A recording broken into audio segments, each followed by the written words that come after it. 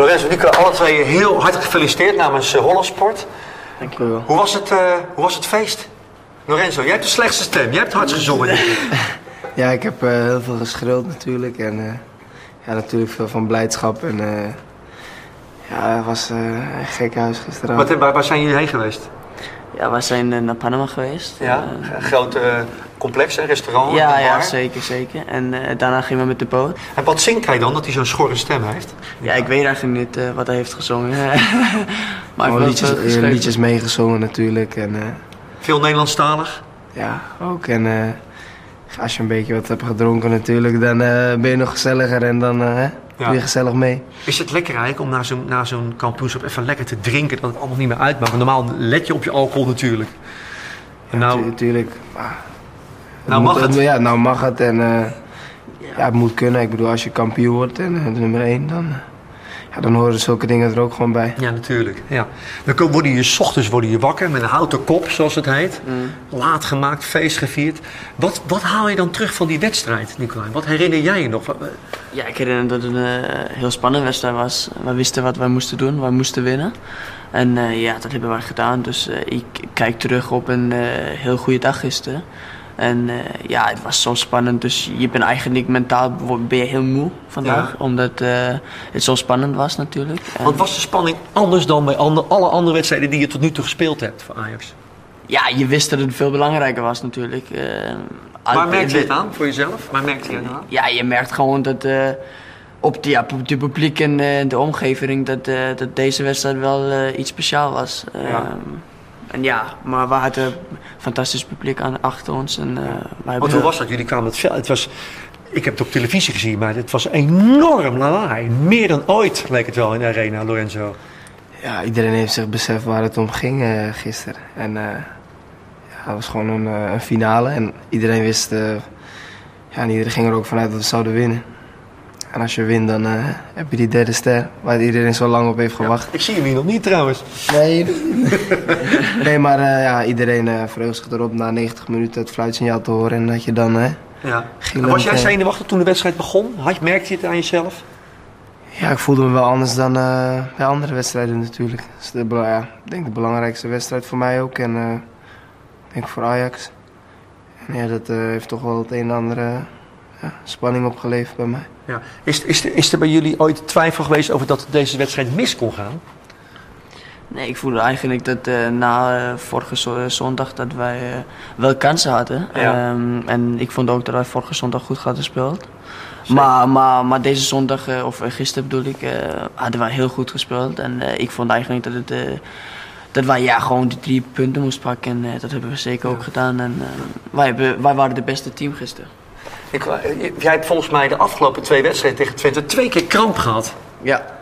Wat, hoe komt dat? Uh, de eerste wedstrijd uh, was het niet zo erg. Uh, ik was gewoon gewisseld. Het was niet door kramp. Maar ja, het is gewoon een andere spanning en het niveau is wel veel hoger dan, dan wat ik gewend in ben. Ja. En ja, dat moet mijn lichaam ook een beetje gewend in worden. Maar het gaat beter. Ja. Lorenzo, kun je even een foto van, van Frank erbij pakken? Allebei? Of Wat, nou, je pakt deze kennelijk, dus dit vind je. Hij staat, ja. aan, twee, hij staat aan twee kanten, dus jullie hem twee keer zien. Okay. Wat zegt jou deze foto? Wat zie je? Blijdschap en uh, ja, een trotse trainer. Ik zie ook dat, ik zie ook dat, hij, dat hij in zijn gewone kleren in het water is gedoken. Ja, dat uh, kan je wel verwachten ja, als, je, als je kampioen wordt. Ja. Dat wist hij van tevoren wel. En, en zijn riem is, en zijn riem is los? Ja, ja, ik weet niet uh, hoe dat komt. ja. Maar Beetje ja. hardhandig. Nee. Jullie zijn twee ontzettend, die zijn twee jonge spelers die de Frank de Boer echt gebracht zijn en zei: Ik geloof in jullie, ik ga jullie in het elftal zetten. Hoe belangrijk is Frank de Boer voor jullie? Ja, is heel belangrijk geweest. Is echt, uh, ja, ten eerste dan, uh, ja, hij heeft ons erbij gehaald, natuurlijk uh, vanwege het vertrouwen. En het geloof dat hij in ons heeft natuurlijk. En ja, dan moet je dat bewijzen. En dat hebben we uitstekend gedaan, denk ik. Ja. En voor jou? Ja, hetzelfde. Ik heb al één jaar met hem eh, getraind en eh, ik vond toen al dat hij eh, een he- heel goede trainer was. En zeker ook voor mij, omdat hij had dezelfde posities gespeeld eh, Ja. op, op het hoogste niveau. En ehm, je kan zoveel leren van hem. En eh, dan wil je gewoon bewijzen op het veld dat, eh, dat, ja, dat, eh, dat hij heeft eh, vertrouwen in jou en eh, dan moet je bewijzen. Zelfs tijdens de wedstrijd, niet deze keer, maar in in de Kuip toen jullie tegen Twente speelden, nam hij jou apart aan de zijlijn. Hij begon gewoon les te geven aan je. Ja. Hoe ervaarde jij dat? Ja, dat is alleen maar goed. Hij ziet in de wedstrijd eh, iets eh, die verbeterd moet worden. Wat hij? Wat was er niet goed? Ja, ik moest meer openstaan, zodat ik eh, op, alle op alle kanten kon, kon komen. Ik, ik stond te veel aan de bal te kijken. En ik Ja. moest meer openstaan, zodat als de bal naar de andere kant ging, dan, dan kon ik sneller naar Ruiz toe komen. Want dat is jouw directe tegenstander. Maar dacht je niet van, joh, doe dat even morgen, maar niet vandaag? De- nee, nee. Jij beschouwt dat niet als dus het hele stadion kijkt toe, heel Nederland, voetbalmiddend Nederland kijkt, maar jij wordt er niet onzeker van. nee, zeker Hoe niet. zegt, wat, zegt hij dit dan vriendelijk of is hij pittig? Dat is wel pittig. Jij was de avond tevoren in Hoorn op, de, op, op die vecht, eh, vechtgala. Eh, was dat voor jou een goede voorbereiding? Achteraf, er was kritiek op. Zei mensen, hoe kan dat nou?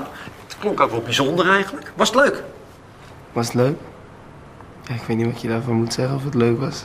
Nou, je ging erheen kennelijk was- om te ontspannen, toch? Ja, ik ben eh, voor één eh, wedstrijd eh, gegaan van een vriend van me. En ik ben op tijd weggegaan. Ja. Als mensen verkeerde dingen, verkeerde dingen zeggen, ja, dan heb ik daar weinig grip op. Ja. Maar ik bedoel, het was voor jou in principe een goede voorbereiding om zo'n wedstrijd te kunnen spelen. Voor mij wel, ja. Ja, Ik kan ook thuis zitten en tegen het plafond staren. Maar niks voor jou. Nee. En jij, wat heb jij gedaan de avond voordat je moest spelen? Mijn vader was hier, dus ik was eh, gezellig met hem. Eh, hij kwam uit Denemarken, dus wij gingen een beetje uit eten en dan anders gewoon, eh, waren we, waren gewoon thuis. Wat ga je nou de komende week nog doen? ja, nu over, word je overspoeld met berichten en eh, belletjes. En ja, mensen die toch trots op je zijn. En, eh, En wat zijn jullie vakantieadressen? Waar ga jij heen? waar ik heen ga, nog geen plan. Nog geen plan en jij? Ik ga naar Denemarken, maar Hij wordt saai. Ja, maar als het niet voor vakantie is, voor, ehm, waarschijnlijk voor EK onder 21. Oké, je blijft gaan voetballen. Ja, dus Ja. ik heb eh, waarschijnlijk niet zoveel vakantie. krijg je weer kramp, hè? hey jongens, hartstikke gefeliciteerd en goed dat jullie er even waren.